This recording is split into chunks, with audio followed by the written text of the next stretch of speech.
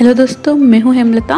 आज के इस वीडियो में हम वाटरमेलन को सर्व करने का बहुत ही बेस्ट तरीका देखने वाले हैं। इंडियन स्टाइल में वाटरमेलन को खाने का मज़ा ही कुछ और होता है, लेकिन इस तरीके से अगर आप इसे एक बार ट्राई करेंगे तो बहुत ही ज़्यादा टेस्टी बनेगा ये। तो चलिए फटाफट से इसे देख लेते हैं। तो देखिए, हमने यहाँ पे ये एक छोटा सा वाटरमेलन लिया है। बिल्कुल छोटे से साइज़ का हमें वाटरमेलन लेना है। देख सकते हैं कितना छोटा सा ये वाटरमेलन है और इसे हम बीच सेंटर से इस तरीके से कट कर लेंगे। और इसके हम दो बाउल बनाएँगे सेंटर से कट करने के बाद में। बिल्कुल सेंटर से हमें इसे कट करना है। और फिर जो ये इसका बीच का रेड वाला पार्ट है, इसे हम कट करके बाहर निकाल लेंगे। अच्छे से हमें इस रेड वाले पार्ट को कट करके बाहर निकालना है। बिल्कुल छोटे साइज़ का अगर वाटरमेलन लेंगे तो वो हाथ में कैरी करने में अच्छा रहता है। ये सबसे छोटे साइज़ का वाटरमेलन लिया था मैंने। तो आप इसे इस तरीके से कट करते हुए इसके बीच का, इस तरीके से आप रेड वाला पार्ट अच्छे से निकाल लें। और ये देखिए जो बचा हुआ लिक्विड है, इसे हम एक बाउल में ट्रांसफ़र कर लेंगे और एक चम्मच की मदद से इसे इस तरीके से साइड से हटाते हुए पूरे वाटरमेलन को अच्छे से खाली कर देंगे। जितना भी ये रेड वाला पार्ट है, हमें इसे बाहर निकाल लेना है। वाटरमेलन के दोनों हिस्सों को हमें कट करके इस तरीके से क्लीन करना है। देखिए, इस तरीके से हम इसको अच्छे से क्लीन कर लेंगे।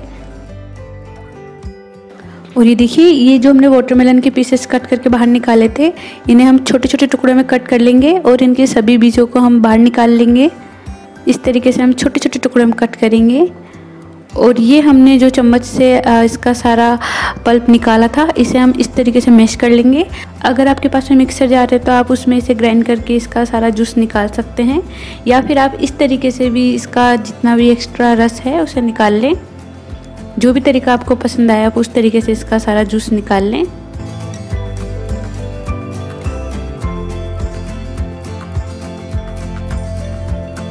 तो ये हमने सारा वाटरमेलन का रस निकाल लिया है और इसमें अब हम एक नींबू का रस डाल देंगे।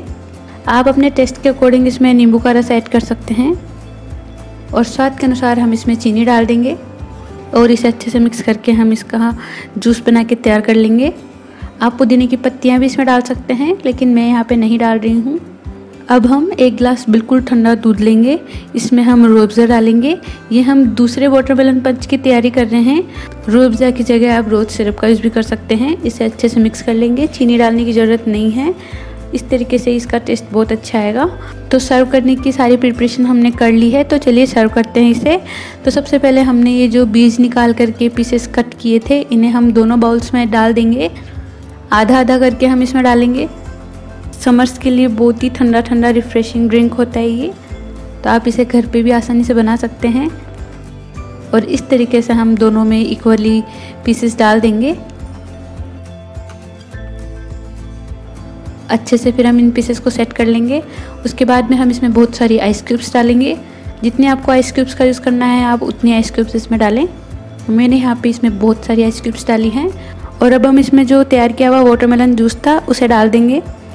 इसी के साथ ही आप इसमें सोडा वाटर या फिर स्प्राइट भी डाल सकते हैं।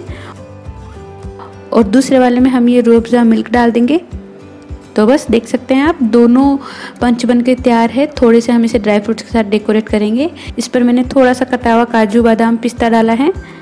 और बस आप इस टेस्टी वाटरमेलन पंच को स्ट्रो और चम्मच के साथ में सर्व करें।